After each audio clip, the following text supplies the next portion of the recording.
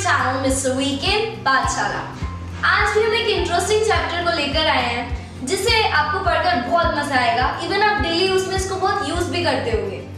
Okay तो for an example पहले मैं आपको एक एग्ज़ाम्पल बताती हूँ, फिर उसके बाद में हम स्टार्ट करेंगे। फॉर एन एग्ज़ाम्पल मुझे वो इतनी गोरी लगी, जैसे कि एक बर्फ़ हो। अब जैसे कि हमने एक सिंपल से ले लिया कि कोई चीज़ हमें इतनी ज़्यादा सफ़ेद लगी, या फिर कोई इतना ज़्यादा गोरा लगा, जैसे बिल्कुल बर्फ़ हो। तो इसको हम इंग्लिश में कैसे बोलेंगे? तो आज हम यही जानने वाले हैं आज की इस वीडियो में। So hello this is Ruchi and let's welcome to our today's chapter that is the comparison denoting words तो हमारे चैप्टर का आज हम फ़र्स्ट वोकैबुलरी लेते हैं एज वाइट एज स्नो जब आपको कोई बहुत ज़्यादा सफ़ेद लगे, ऐसा इतना ज़्यादा गोरा लगे जैसे कि बर्फ़ हो तो आप उसको क्या कह सकते हैं? As white as snow She looks me as white as snow. Okay, let's move on to the next. Next vocabulary है uh, busy से related. ओके okay, तो इसके बारे में बात करेंगे अब जैसे कि कोई इंसान है वो इतना ज़्यादा बिज़ी रहता है कि आपको आप उसे किसी भी काम के लिए बुलाते वो नहीं आता अब उसके अब उसे खाने के लिए बुलाओगे वो नहीं आएगा तो वो इतना ज़्यादा बिज़ी रहता है सारा दिन काम करता रहता है हमेशा बिज़ी रहता है तो आप सोचोगे कि उसको किससे कंपैरिजन कराएँ? ये इतना ज़्यादा बिज़ी रहता है तो आप उसका कंपैरिजन किससे करा सकते हैं? बी से। Like he is as busy as a bee तो आज का हमारा यही सेकंड वोकैबुलरी है एज बिज़ी एज बी कोई इतना ज़्यादा बिज़ी रहता है जैसे कि एक बी रहती है। So example he is as busy as a bee okay let's move on to the next अब कोई नेक्स्ट वोकैबुलरी है, मूर्ख। अब कोई इतना ज़्यादा मूर्ख हो कि वो बिल्कुल ही सारे काम खराब कर दे या फिर बिल्कुल ही अपनी बुद्धि का यूज़ ही ना करे। तो जब भी हमारे पास, हमारे दिमाग में एक शब्द आता है मूर्ख तो हमारे दिमाग में एक जानवर आता है कंपेयर करने के लिए गधा, कि हम उसको मूर्ख बोल दे या फिर गधा बोल दे। तो हम मूर्ख को किससे कंपैरिजन कराते हैं गधे से।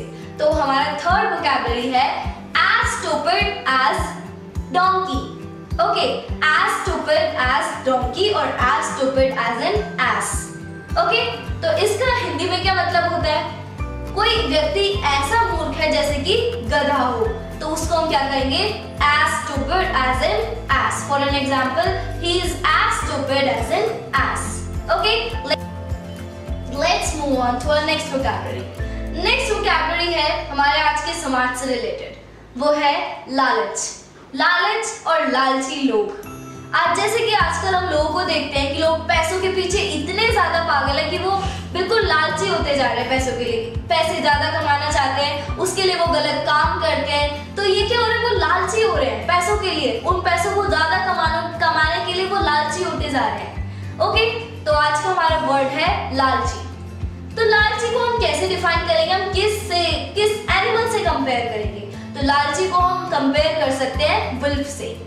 ओके जैसे कि हमने सुना होगा लालच बुरी बला है।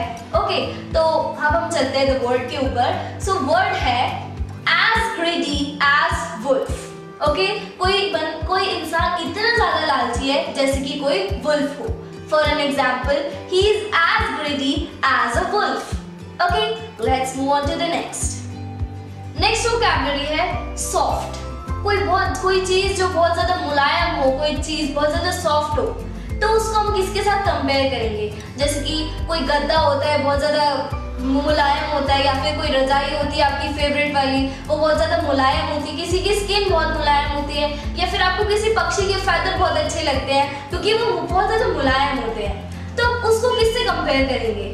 कोई जानवर नहीं होगा पर किससे कंपेयर करेंगे क्योंकि जानवर तो मोस्ट ऑफ़ हार्ड होते हैं। तो हम किससे कंपेयर करना चाहेंगे? किसी सॉफ्ट चीज़ को। So our next word so our first word जो हम अभी हम लेने वाले हैं वो है एज सॉफ्ट एज बटर कोई चीज़ इतनी ज़्यादा सॉफ्ट है जैसे कि मक्खन होता है।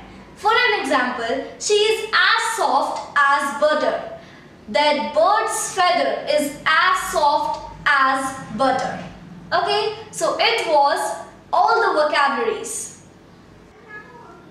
Okay, so it was the end of our video and these were our all the vocabularies और आज हमने देखा कि हम कैसे कंपेयर करेंगे कुछ एनिमल से या फिर किसी चीज को एक दूसरे से Okay, so I hope you liked our video. If you liked the video and you liked our channel, so please like, share and subscribe our channel Mr. Mr. Weekend Pathshala and keep loving, keep watching Mr. Weekend Pathshala. Thank you.